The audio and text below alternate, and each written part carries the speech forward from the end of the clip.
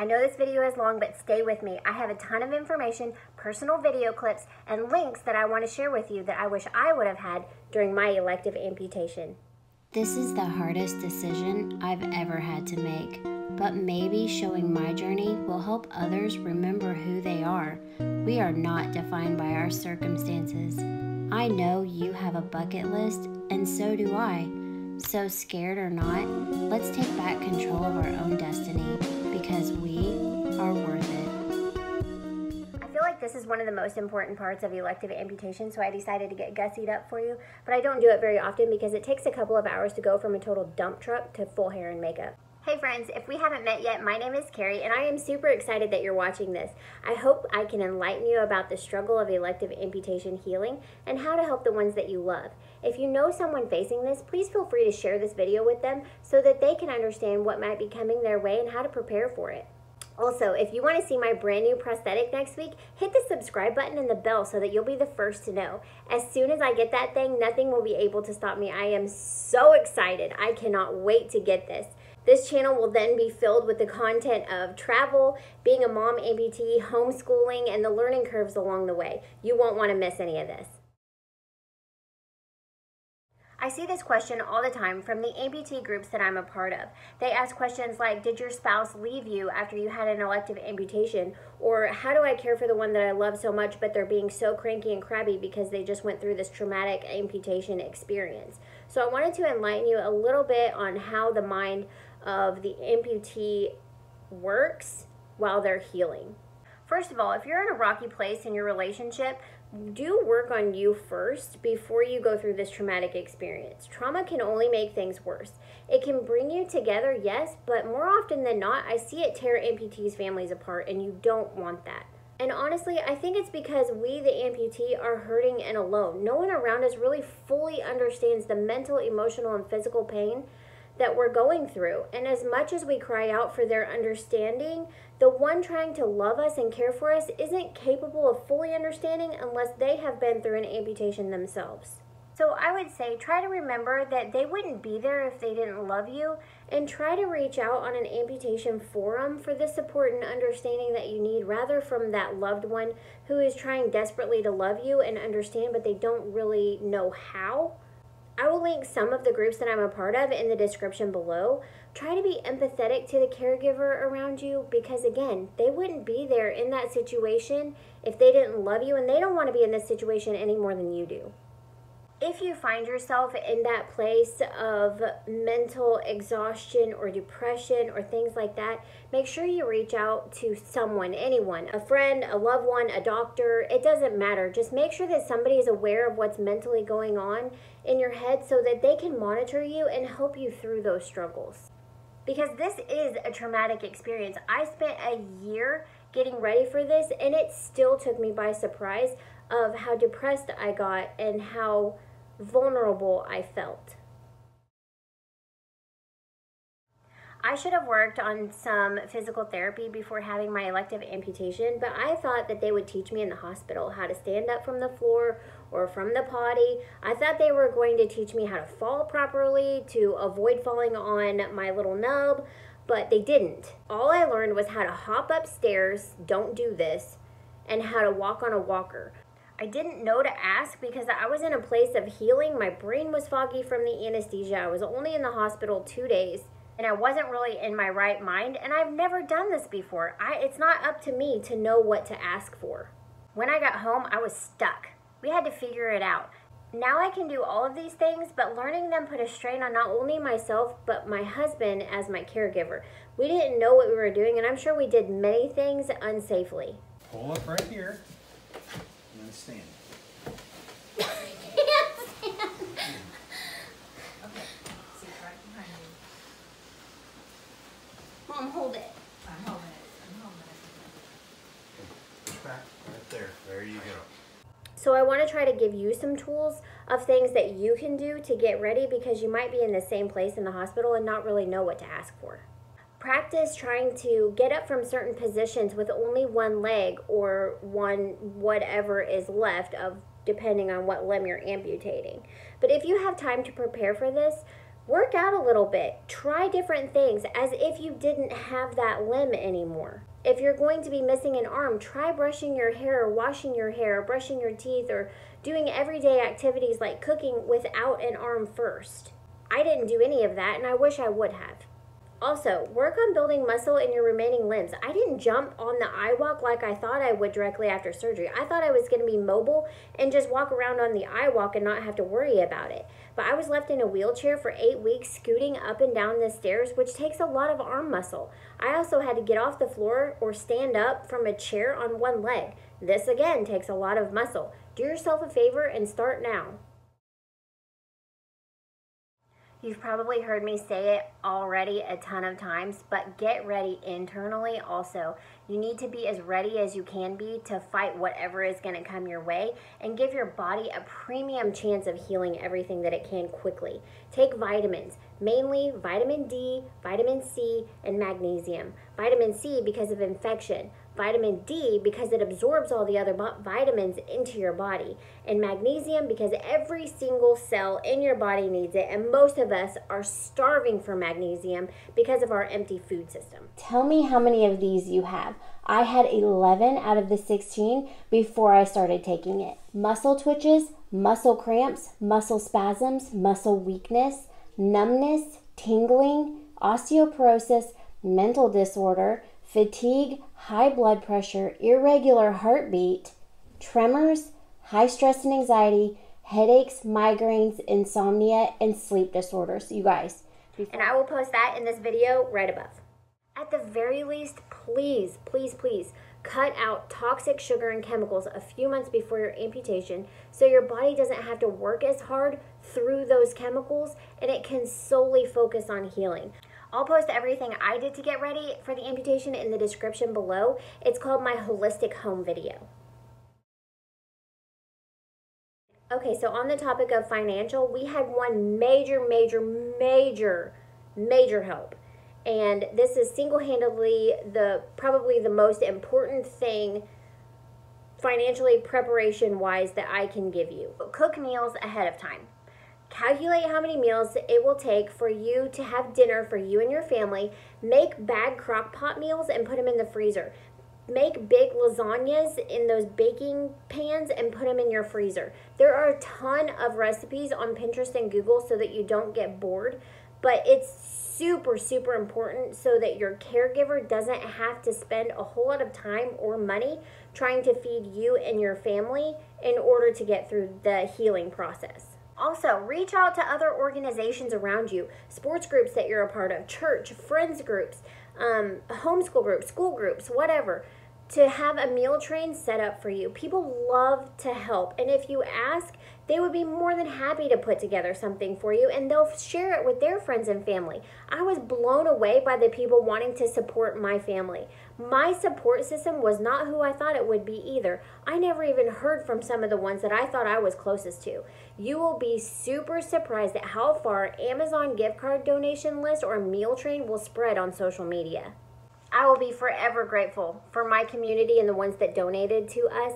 This is probably one of the best things that got us through this difficult time. Since my husband has never had to make meals for our family, he switched roles into caregiver and came home from his job. And during this eight weeks, he has not had to make a single meal. This is a huge time, money, and stress saver. And I can't stress it enough that this is one of the best things you can do to get ready for an elective amputation. And to the ones who donated, I can never repay you, but I am praying that the windows of heaven just open on you and your family and pour down so many blessings you could never contain at all. Thank you so, so much for being so generous.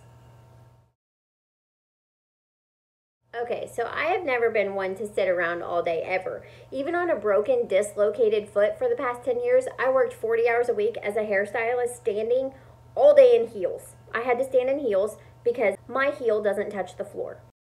Or didn't before I amputated it. Also, I did everything at my home because a lot of the time my husband was an over the road truck driver. So I, it was all on me to do all of the laundry, all of the grocery, all of the shopping, all of the cooking, all of the cleaning of the house. I'm used to taking care of animals, mowing the lawn, weeding the flower beds, remodeling my home, running all of the errands, making all the homemade dinners every night, and being a mom as well as a full time job. And a lot of my friends and family, if you ask them, I got this all the time. Kerri, how do you have so much energy? Kerri, how do you get all this done? And I just told them, I don't have a choice. I was made different. God made me to work. I am a workhorse. That's who I am. And now I can't. Even with my previous foot surgeries, I never took the healing break that I needed, which is probably why I'm sitting here today talking about elective amputation. So I wanted to make sure that during this time, this healing time, I did everything perfectly. I stayed put, I sat in my bed for the eight weeks, I did what I was told because this is my last chance. It's not like I can just go have another surgery to fix my foot. It's gone. It's time to grow up, sit still, obey the rules, and not get myself in trouble again. So for me to electively amputate my foot, I knew I would need to sit. However, I did not realize how this would mentally affect me. For the first week, I was solely focused on healing and getting to know my new way of life, but the weeks following, I became extremely lonely. My bedroom is upstairs, away from the main living area of our home, so the kids would regularly come up to play, but there were hours and hours and hours spent alone, reading a book, watching TV, playing on my phone, working on my computer, or making videos. I kind of felt like a prisoner in my own bed because I was on antibiotics. They crashed my system and made my stomach hurt every day. So I was really scared to leave the house and catch something that might be detrimental to my limb. And I was scared to do anything wrong too. I've never been in this position before and it made me nervous that I wouldn't be able to fix it if something went wrong. The only thing I can really relate to my elective amputation being is kind of like a newborn baby.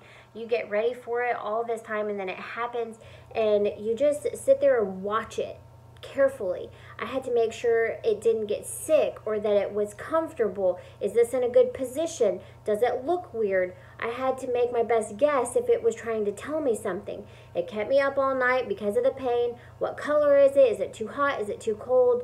During the days when I tried to spend time with my family, they weren't allowed to get close to me for fear that it would get hurt. Much like holding a baby constantly. Don't touch it, don't look at it, don't talk about it. But all this did was further isolate me and my little baby nub. I don't know that it was wrong. I feel like it was necessary to make sure that it healed properly. But what I'm trying to say is that it does take an emotional toll on you and the ones around you. It's not normal for somebody to be isolated and it can be painful. Giving up total control of the house was not easy either. My husband has totally different way of managing than I do. I could see the world I built slowly fading away as I sat in my room unable to be part of the life around me. And it's not that he was doing anything wrong. It's just different from the way that I do it and I felt like he wasn't disciplining the kids as well as I do. So I'm going to have to backtrack and teach them all these things again. But in the big picture, in the grand scheme of things, none of this that was going on around me was detrimental at all. It's all things that can be easily fixed or changed later on when I get my leg and everybody's firing on all cylinders again. So I had to remember to just stay in my lane, which was healing, and let him do the best that he can while doing a job that he's not necessarily ready to take on. I would hear my kids play outside my window, and all I could do was watch and listen, so that was kind of hard. But I know this is a temporary situation, but in the moment, it wasn't. In those moments, it's lonely. In those moments, your heart falls. And what I want you to understand is that those moments are going to happen. So expect them to happen and have a pick me up plan for when that does happen.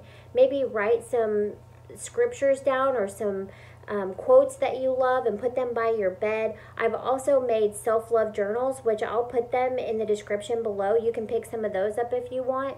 They're great tools on how to help love yourself in those times of kind of depression or loneliness. And I wanted to be downstairs and go places, and I could have. But in order for me to do this, it was an extreme workload added to my husband who's already struggling. For me to go, he has to load the kids with their snacks, books, load the wheelchair, then come help maneuver me with the crutches down our front steps so that I don't fall.